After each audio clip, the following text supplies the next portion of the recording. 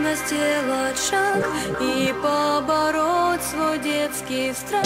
Но мы, как два крыла, всегда должны быть рядом.